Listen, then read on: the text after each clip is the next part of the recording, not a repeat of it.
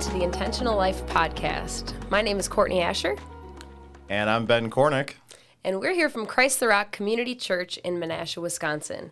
The Intentional Life Podcast is all about making disciples of Jesus who make disciples of Jesus and continuing to grow as his followers. Today, on our first episode, we are going to talk about the purpose of the church. That's right. So we have a big mission at our church, Christ the Rock, of making disciples of Jesus. And mm-hmm. we just want to ask the question before we assume that everybody's going to agree to that mission. Yeah. That that's the right mission. Mm-hmm. Um, so we're asking the question today: What is the purpose of the church? If the church is indeed meant to make disciples of Jesus, I think we're on track. Mm-hmm if the church is meant to do all these other things, auxiliary things, what does that look like? How do we do those things and keep the mission central to what we're doing? Yep. Um, and we want to talk a little bit about what the church has looked like in the past and maybe what we're going towards um, with trying to be intentional mm-hmm. in our lives as Christ followers. Absolutely. So, uh, Ben, would you just share with us a little bit about what the church has looked like throughout history? Sure. Uh, what's really interesting is that um, this is a huge question like, what's the purpose of the church? Yeah. And so I think obviously that's a question the church continues to ask throughout history. Mm. So, and I think it kind of goes in ebbs and flow. Like there, there's moments where I think the church just kind of loses focus and hmm. it becomes about all sorts of stuff, and then there's these moments in history where everyone goes, "Wait, what is the actual mission? Like, what are we hmm. supposed to be doing? What is our purpose right. here?" And um, and you know, you can look back through like the Reformation period and people really were like, hey, we've got to figure out what the Word of God says. And that led to a lot of communities that really looked like the Acts 2 church. Hmm. So it seems like in most of these times throughout history, whenever the church says, hey, uh, what is the purpose of the church? They wind up looking like the Acts 2 church. And uh, and you know, and if you're not familiar with what we mean by the Acts two church, uh, there's the book of Acts in the Bible uh, comes after the Gospels, and in chapter two, there's this moment where it says after the church was birthed into the world. Uh, there is this season where they were meeting together every day. They were praying mm. together. They were devoted to the apostles' teaching. Um, they were uh, you know, taking care of one another's needs. They were breaking yep. bread together. Yep. They were finding healing together. Like it was, it was wild, and people were being added to their number every day. Hmm. But um, th- that, so I think a lot of times we go, yeah, that's what we want to be. We want to be that kind of church. Yeah. But then I think the difficulty is like we're trying to go after the fruit of something without understanding the root of it. Sure. Yeah. And so it's hmm. like, what was the root of it? Like, what did Jesus tell them to focus on? That caused that uh, sort of activity to happen. Hmm. And so I think I think that's a real question we have to wrestle with because sometimes we can say let's make we got to really figure out community as a church or we've got to yep. really be good about teaching or worship or whatever. But it's like, well, is that something that we can just manufacture and do? Or is right. it something that comes as an outgrowth of something else that Jesus told us to do? That's and I think that's a question we have to wrestle with. Yeah, and those things you mentioned are great, right? Mm-hmm. Like the teaching, um, even just you think about children's ministry or Sunday morning kids church. You think about missions opportunities and outreach.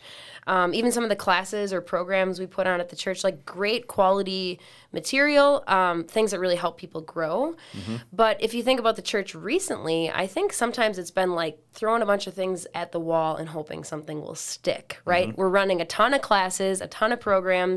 We're trying to have a really awesome Sunday morning service missions you know we're trying to be intentional in the community yeah. but probably not as much as we should be right and somehow there's a disconnect. We're just kind of throwing everything at the wall, and I don't think everybody knows what is the goal that we're going for here, hmm. and how are all the things we're doing contributing to accomplishing that.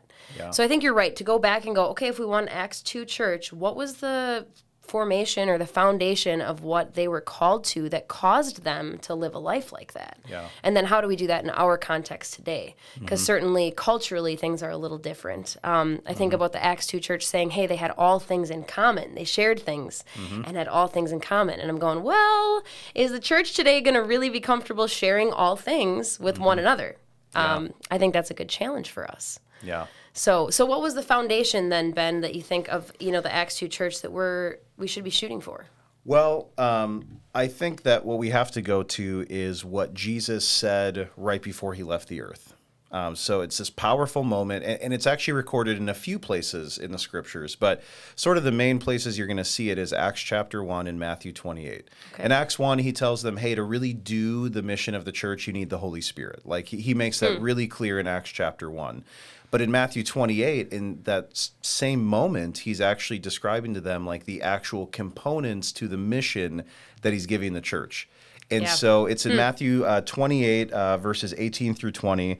It says, Then Jesus came to them and said, All authority in heaven and on earth has been given to me. So he's, he's helping them to know, like, I actually have the authority to give you this mission. Yeah. And what's crazy then is you would think if someone has all authority, in heaven and on earth. Mm-hmm. Whatever they say next is like really important, right? Yeah, we should do that. So then he says, Therefore, go and make disciples of all nations. it's the first thing he says, hmm. baptizing them in the name of the Father and of the Son and of the Holy Spirit, and teaching them to obey everything I've commanded you.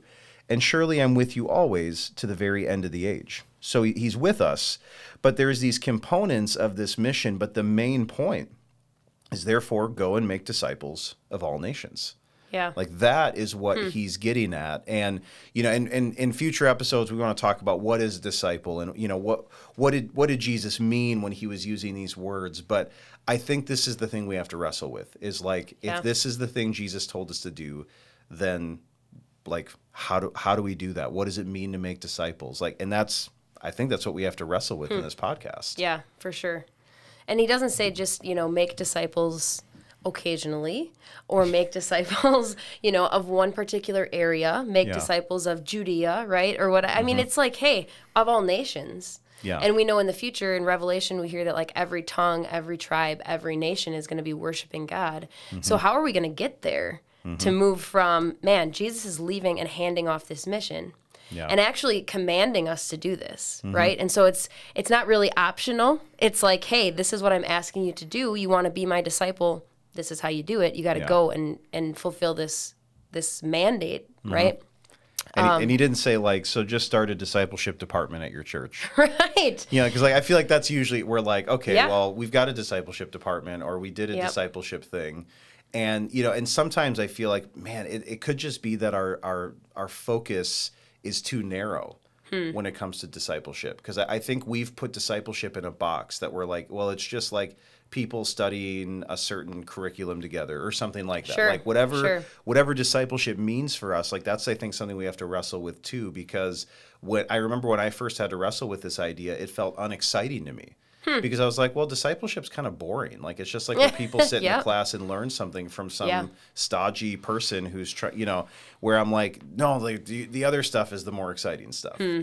And yeah. so I feel like that's part of the wrestle too, is because I I do wonder if that's where some of the initial pushback can happen for some people hmm. is that they're going, well, discipleship's not really that exciting. Right. Or like I've heard people say, I don't want to just do discipleship. yeah.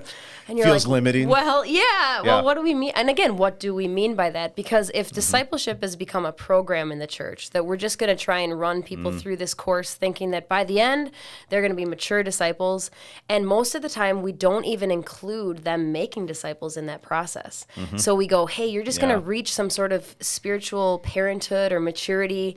Um, and then when you're there, you've arrived and like just ride it out until the end. Yeah. Um, and as long as you keep growing, you're, you're fulfilling the mission. But Christ mm-hmm. is actually handing off this mission and going, what you need to be intentional about doing is making other disciples, yeah. which means that the fullness of the mission was handed to those guys. Mm-hmm. And means that here we are today because they were successful in handing off the mission from generation to generation.